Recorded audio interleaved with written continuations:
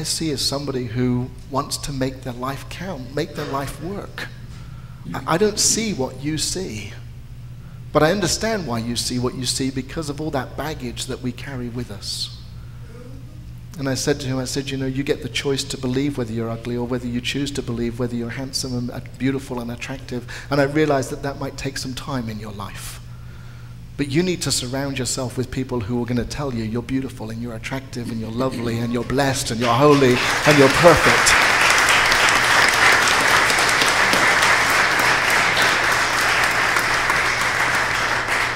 But, sisters and brothers, how many of us choose to stay in the environment that tell us that we're nasty and wicked and awful instead of choosing to live in a place where people love us and people count on us and people believe in us? And I, and I understand that because sometimes those very places are the places that we feel most comfortable, usually around family and friends. But I want to tell you, sometimes we have to choose who our family are. And I've lived in a life now where my family of choice is often much, much better than my family of origin. Because my family of choice know me as the person I am today and don't treat me like the person that I was when I was 10, 12, 14 and a rebellious little son of a what's it.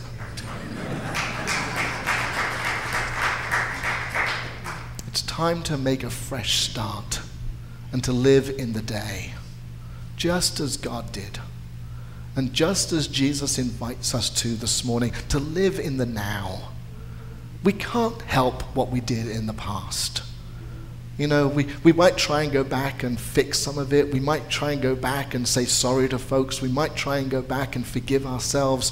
But, you know, ultimately, we can't undo what we did yesterday. We can only learn from those experiences and bring them into the now, bring them into the present Bring them into this moment so that we become the full human beings that God expects us to be. To become the grown up adults that we've been called to be.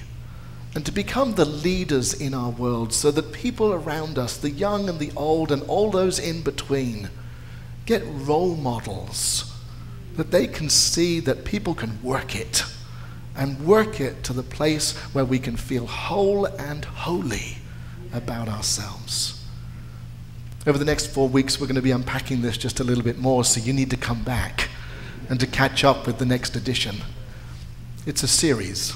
That's why we don't give you everything in one go.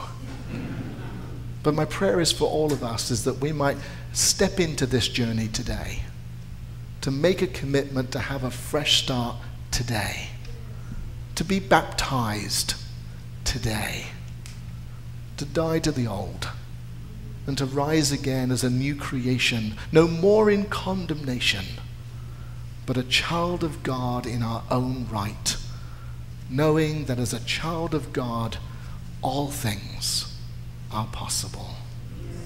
May the God of grace that I know created you be the God of grace that just bathes you in a sense and awe of love this morning. And may God's blessing always be upon us. Let us pray.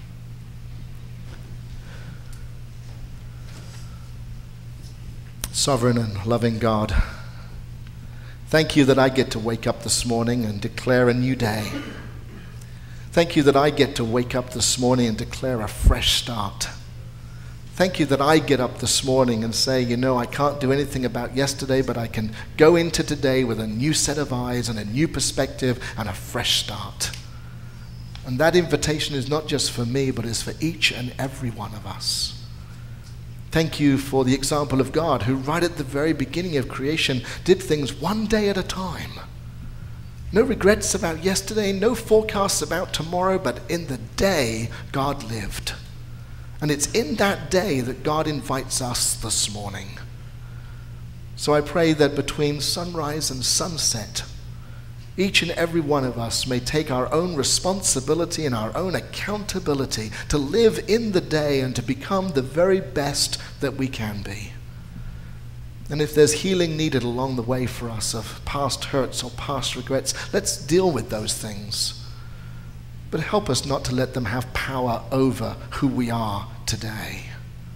Create in us a new spirit, a fresh start, a new beginning Now, God, I pray that you would bless the words that have come from my mouth. May they refresh us and renew us and give to us, those of us who are struggling to make the decision to have that fresh start, help, that, help us to make that decision today to do it because we will become more like you because of it. May the God of grace now take the words that have come from my mouth and may they fix in us and grow in us and develop in us and ultimately lead us to God's way. I pray all these things in the name of all that is holy, but with my brother, Jesus. Amen.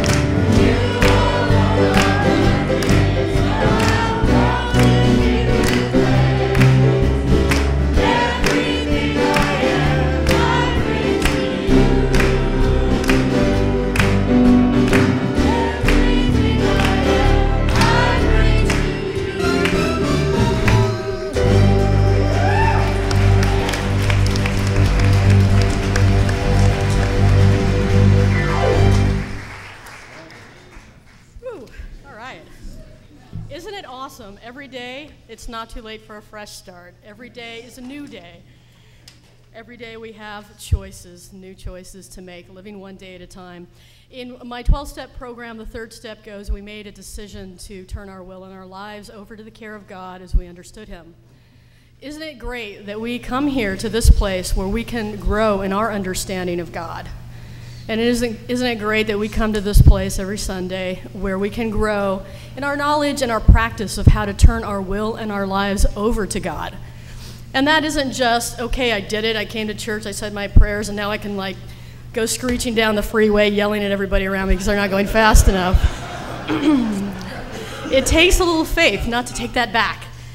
It takes faith that once you turn that over, God is going to open up doors for you. If you just listen to that voice and do what God tells you to do, and not do something that God hasn't told you to do, sometimes there's time for action, there's time for inaction. And we know that God has laid the path for us, even though we can't see it. We walk in faith, and we know that everything's going to be okay.